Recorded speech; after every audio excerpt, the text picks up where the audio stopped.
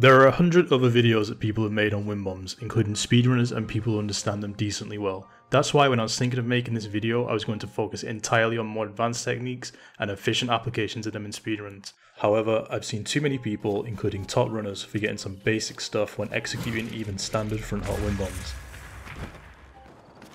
And since this will probably come up, yes, they are called wind bombs. Almost every speedrunner, and the person who found the trick, calls them wind bombs except like 5 people. So considering that, I've decided to do a comprehensive guide on them, going over basic wind bombs, advanced wind bombs, and efficient use of them in speedruns.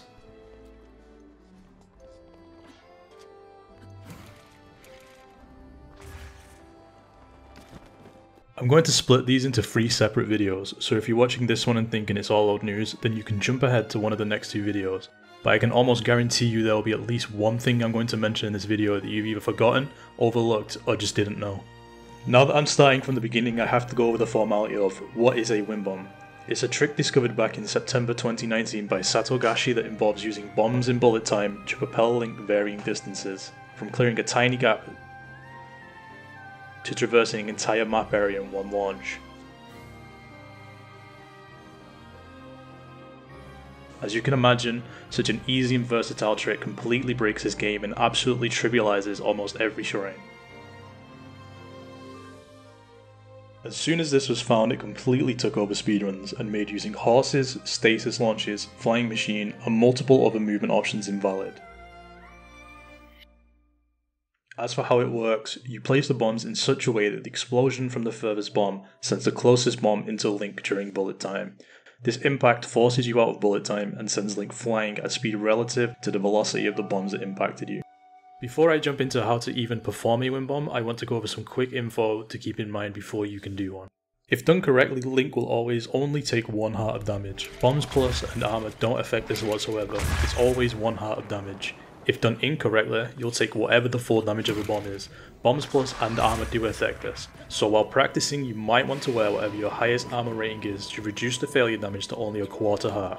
Bombs plus might do more damage from a failure, but you can still reduce its damage to a quarter heart, and the quicker cooldown will let you practice way faster, as it's a 3 second wait for a bomb to come back compared to a 6 second wait. And two quick notes for speedrunning. If you're doing segmented practice for a speedrun and have bombs plus, you should always keep in mind that what you're practicing needs to have a longer cooldown on bombs accounted for.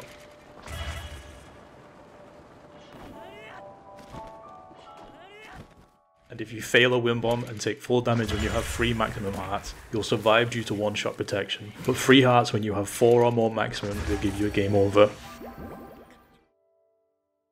Alright, let's start with the three types of beginner wind bombs. We have standard front hop wind bombs, backflip wind bombs, and mid-air wind bombs.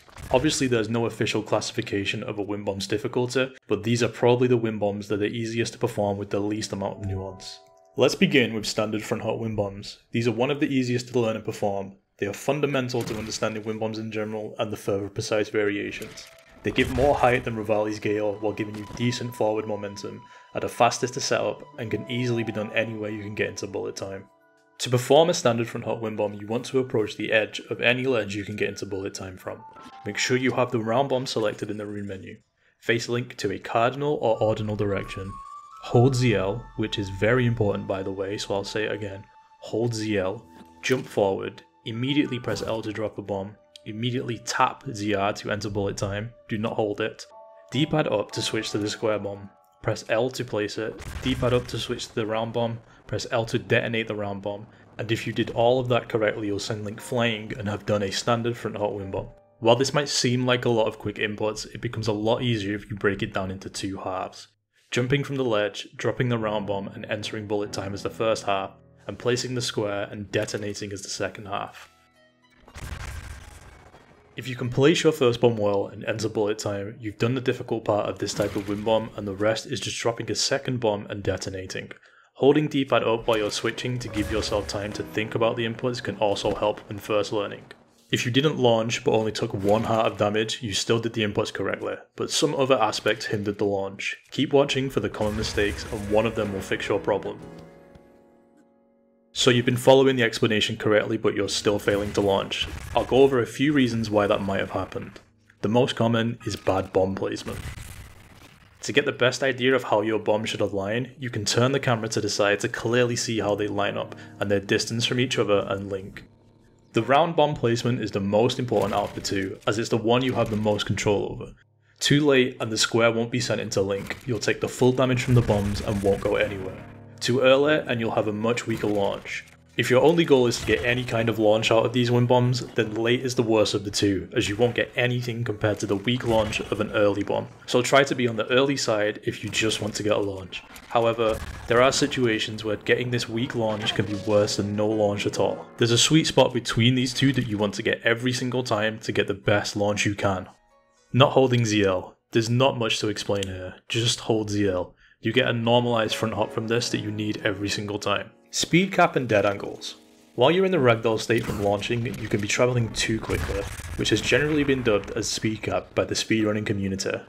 This is an incredibly annoying part of wind bombs that needs to be worked around and will almost entirely be the source of any failures once you're more adept at wind bombs. While we're not entirely sure why this happens, there's a common theory I'll roughly explain that Link has both a body and soul. So essentially there are two parts of Link, his physical body and an invisible one, or the soul, that both interact differently.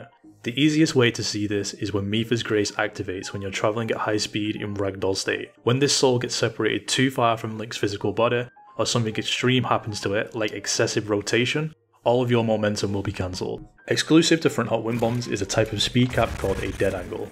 Since a square bomb will always spawn facing perfect north in midair, it can impact link at multiple angles dependent upon how you initially aimed.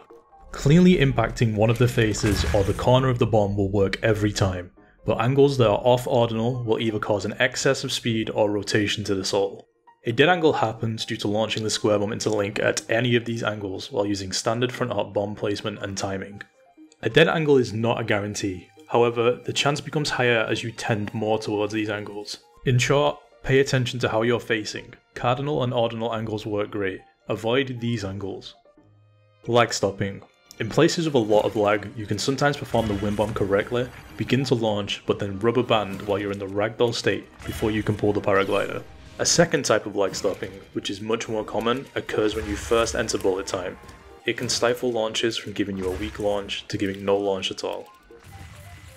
In these two clips, you can see that in a lag-free area like the desert, the game stays at 30 frames per second, whereas in Kakariko the frame rate dips much lower and will result in a failed launch. You can get around this by pointing the camera up or down to reduce the amount of objects on screen. Looking down is preferred as you can still see your bombs and link, but in some places looking down isn't enough lag reduction and looking straight up is needed.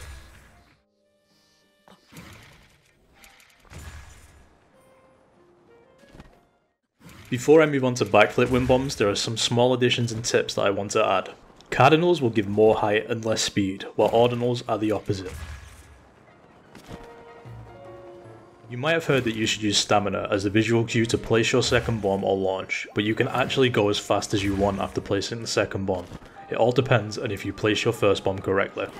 A late first bomb can be corrected with a late second bomb, which is where the visual cue originated from, but this takes extra time and stamina that could be saved. In places where you can't see your minimap, you can jump and spawn the square bomb to see where the cardinal directions are. If you fail a wind bomb, always check both bombs are detonated before you try again, as frequently the bomb you attempted to launch into Link won't have exploded and instead been sent some distance away, but still within range to not despawn. The closer you come to a dead angle, the faster you will go, but then you're trading speed for consistency.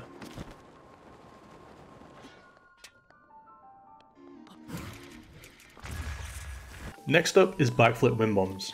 These are also easy to learn, but understanding the spacing required between bombs goes a long way in perfecting these. Backflip wind bombs give little height, but a lot of horizontal speed, are the longest to set up and can be done anywhere you can backflip to enter bullet time. To perform a backflip wind bomb, you want to be on top of something you can backflip from to enter bullet time that is shorter than Link.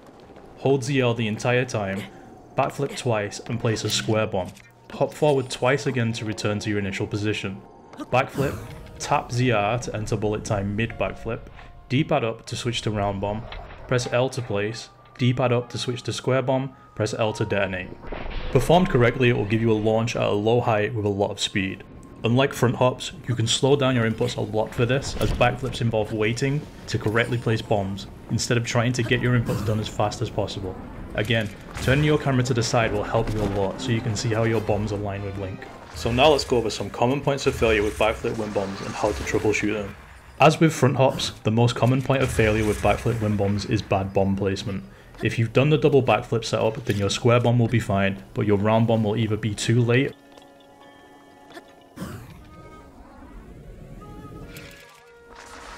or too early. Both of these will result in the round bomb rolling off Link and taking the full bomb damage from the square. This will take some practice to fully understand what spacing is required, but make sure your bombs look less like these two clips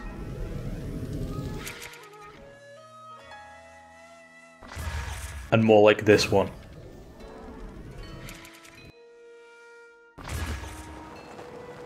Tying into the previous point is your timing to enter bullet time. Press the R too early and you have to wait for a long time to be able to place the round bomb for a successful launch. Press the R too late and you won't enter bullet time at all. The higher the ledge you jump from is, the longer you want to wait to enter bullet time.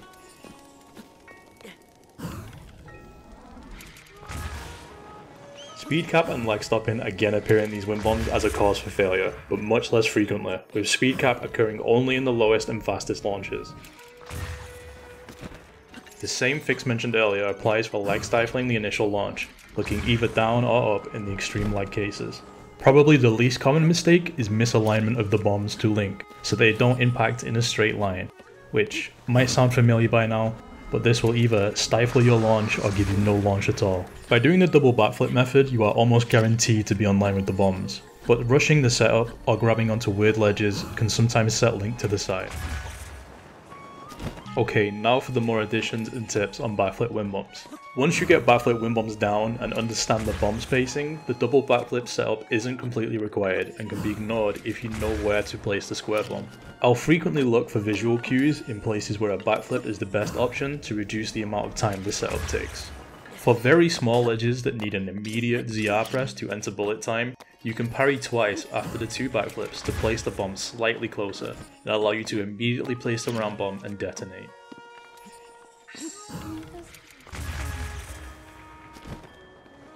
For higher ledges, you can place the bomb further back than two backflips so you don't have to wait in bullet time for an extended time to launch. There's no easy setup for this however, and will take a decent understanding of ideal bomb spacing.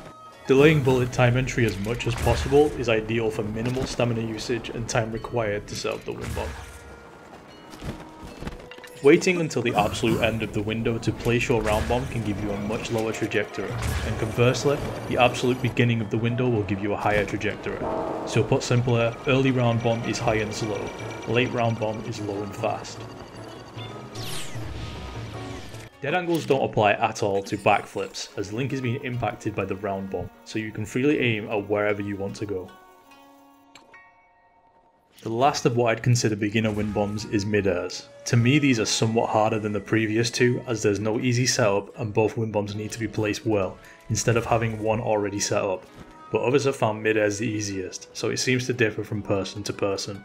There are two common methods for consistently performing mid-air wind bombs. First, I'll go over the method I use. From gliding, you want to come to a complete standstill and be in a neutral gliding position. Drop the round bomb and push forward at the same time. Enter bullet time after a short delay.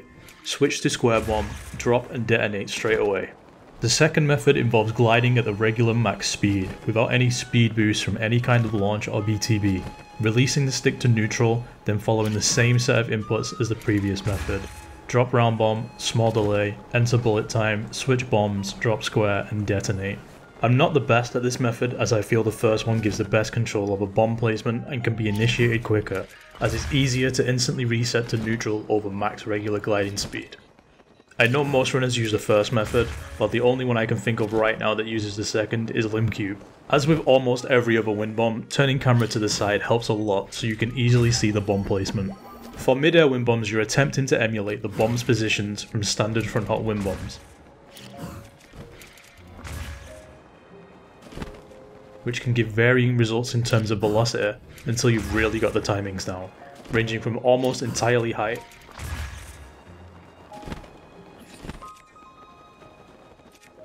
to sending you straight forward. So I'd advise learning front hop wind bombs first so you can exactly see how the bombs should line up. Since you're emulating the position of the bombs from the standard front hop wind bomb, almost exactly the same reasons for failure apply here. So go over some of those again if you're struggling, which again is why I want to stress learning those first.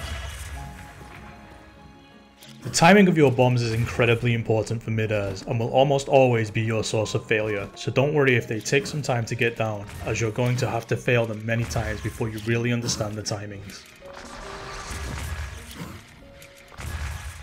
And finally, small additions I want to add for mid-airs. You can actually drop the bombs in either order, but the timing will be different, and round first will always give stronger launches.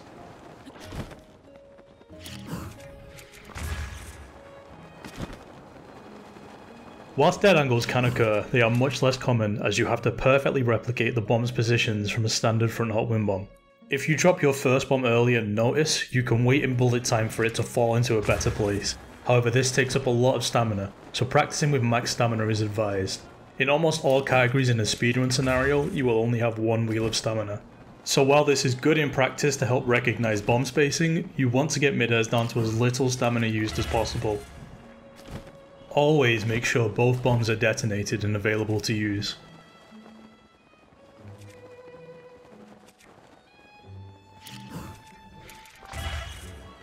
If you need to quickly face a direction while gliding, you can turn your camera towards that direction, use throw aim by holding R, pressing B to drop glider, letting Link turn from the throw aim, then pulling glider again with X. You can also turn with bullet time, but this consumes much more stamina and should only be done if you need to conserve all possible height. These are incredibly versatile once you're adept at them as they can save failed BTBs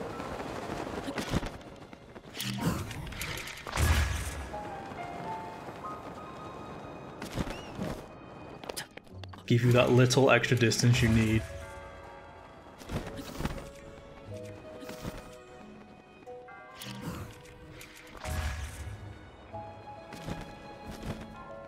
Or allow you to wind bomb absolutely anywhere.